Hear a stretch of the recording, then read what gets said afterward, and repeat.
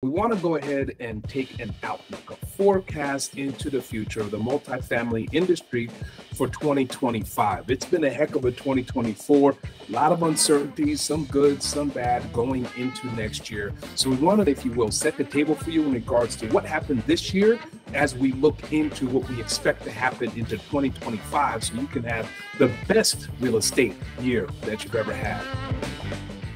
Hey everyone, Hervé Francois here, your favorite acquisition manager at DeRosa Group. Starting for at the beginning of this year, 2024, right? In 2024, approximately 575,000 new multifamily units were added to the United States portfolio, with the top five markets Dallas, Phoenix, Austin, New York, and Denver accounting for close to 30% of that supply. And why did that happen? Because those markets they were undersupplied leading up to 2024, where there was a lot of demand because those markets have faced a lot of job growth. And behind the job growth, there was not enough supply of units. So developers went ahead and fed the majority of the supply for 2024 into those five markets, again, representing um, over 30% of all 575,000 units. Um, what that, that resulted into, however, that resulted in a rent decline that took place in the Sunbelt market. The rapid rise of supply in these units caused rents to decline in any one of those markets anywhere between 4 to 8%, particularly in a city like Austin, Texas, that does not have the biggest slate of inventory, let's say like Dallas or New York, because they don't have a huge inventory to begin with. They saw rent declining by about 8 to 9% in 2024. Now, where did we see the opposite looking forward? Was in the Midwest. We saw a lot of rents increase in the Midwest this year. Now, why was that the fact? That was partially due, largely due, because the majority of the supply went to the Sunbelt markets, not the Midwest markets. So the Midwest markets did not see a lot of pressure on rent declines like the Sunbelt markets did. Of the top 13 markets with the highest rent growth just in the third quarter of this year, nine of them were in the Midwest. None of them were in the Sunbelt. We're talking about cities like Cleveland, Cincinnati, Kansas City, Madison, Wisconsin, Milwaukee, Wisconsin, and so on and so forth. So now if you turn turn the page, turn the chapter as we go into 2025.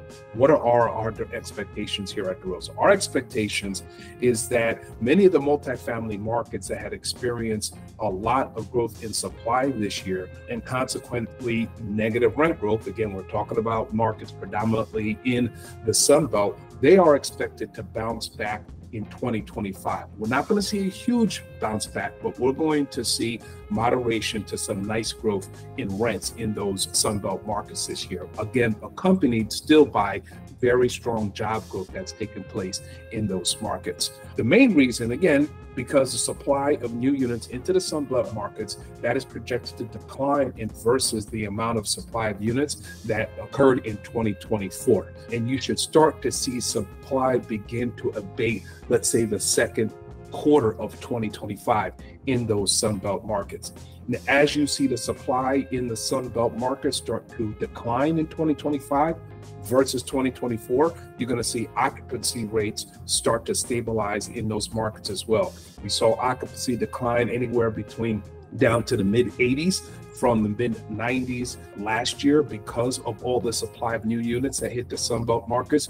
We're expecting occupancy to climb back up to 90% and above in those same Sunbelt markets. Now, we know one of the biggest trends that have been uh, uh, benefiting a lot of Sunbelt markets was population migration. Over here in the East Coast, obviously, people leaving states like New York, New Jersey, Connecticut, moving down to states like Georgia and Florida. And out on the West Coast, people leaving states like California and Oregon and moving down to Arizona and Texas. Now, an interesting observation that we've picked up on is that even though, again, the supply of units into the Sunbelt markets for 2025 is going to start to slow down, the strong rent growth that should accompany with the decline in supplies into units, that strong rent growth, that's going to be tempered a little bit. And why that's going to be tempered, because you're going to see migration into some of those Sun Belt states start to slow down.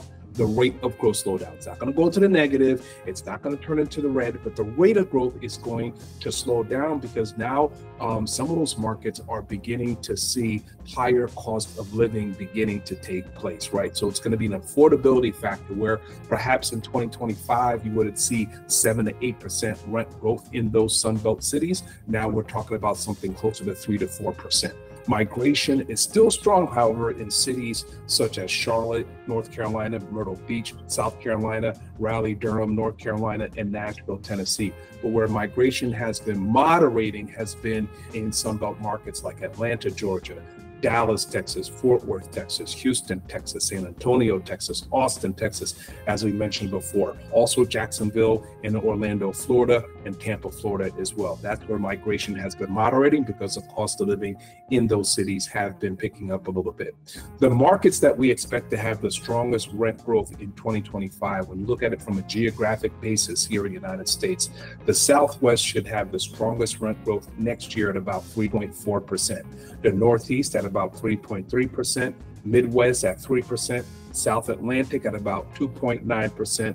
The West comes in at the lowest at about 2.2% rent growth for 2025. So overall, that puts rent growth in the United States for 2025 at 3.1%. Let's not forget we are right now in a declining interest rate market. However, there's obviously going there, there's a change here in the administration starting in January of 2025 we'll see exactly what direction interest rates are going to head based on some of the policy directions that the new administration is talking about and things like that. But if we go ahead and are going to continue maintaining a, low interest rate or a declining interest rate environment, that should yield a return uh, to normal uh, for the capital market. So overall, folks, that wraps it up. Again, expecting some nice rent growth in some of these markets in 2025, particularly in the Sunbelt markets, as we see supply being tempered going into those markets versus what we saw this year, 2024. But again,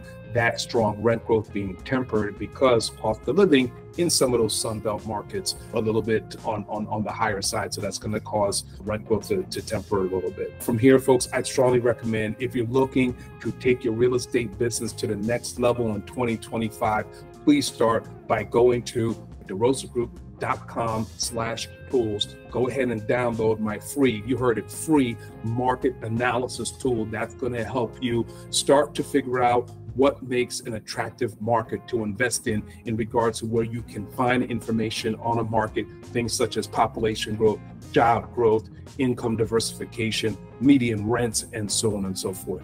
Get started. We're with you, and I wish you a lot of luck in your real estate journey. Take care.